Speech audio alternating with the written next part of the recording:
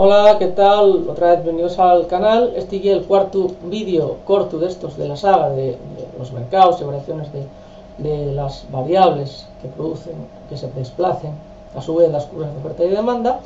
Volvemos otra vez a la situación inicial, aquella en la que la renta era 1500 y 150, los gustos 500 y los costes laborales 50 y teníamos aquella situación que aparece en los vídeos anteriores en la que a 420 euros se demanden 1040 unidades, que ya la situación está de equilibrio. ¿no? Entonces lo que, lo que me dice ahora, ¿y que qué pasa si se produce una reducción de 30 euros en los costes de producción? Bueno, pues en este caso lo que varía eh, va a ser la curva de oferta, no la de demanda, porque los costes no aparecen en la demanda por ningún sitio. ¿no?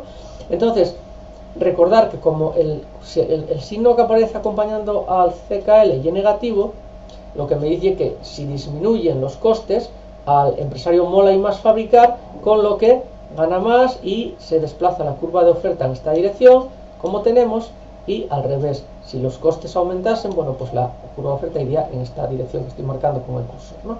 Entonces, eh, como el precio no varía, la nueva curva de oferta llegaría a un nivel de, bueno, pues 300 más 2 por 420 que no varía, más menos 2 por 20, porque serían 50 menos 30 son 20, serían 1140 unidades que esto que aparece aquí.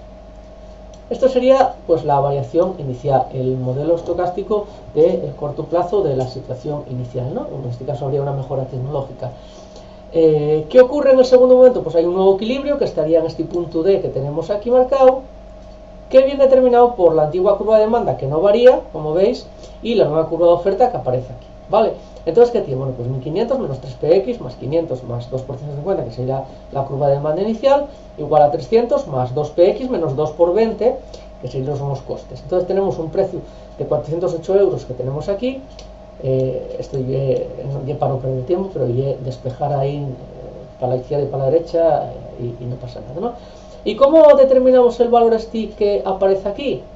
Bueno, pues este valor pues aparece, como vemos aquí, por la antigua curva de demanda o la nueva oferta, tengo que poner aquí el, me di cuenta antes, el, prima, la curva de oferta prima, eh, entonces sería por cualquiera de los dos, 150 menos 3 por 408 más 500 más 2 por 150 o 300 más 2 por 408 menos 40 que me da 1076 unidades que me falta por poner aquí, que sería esta cantidad de aquí, pero como estoy con el ratón, no estoy con, la tablet, para no perder mucho tiempo, no voy a escribirlo porque sería, aparte de que la, letra que tengo es horrible, si me pongo a escribirlo con el ratón, podemos volvernos locos todos, ¿no?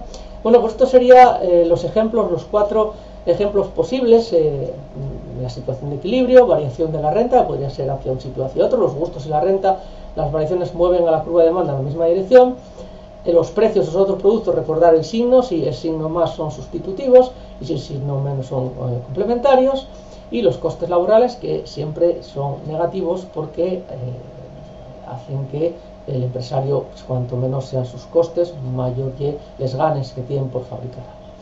Gracias por vuestra presencia en el canal, como siempre, vídeo bajo licencia Creative Commons, eh, podéis utilizarlo, reutilizarlo y pasarlo a la gente que queráis. Eh, gracias por vuestra presencia y vuestro apoyo al canal. Muchas y hasta otra ocasión. Un abrazo.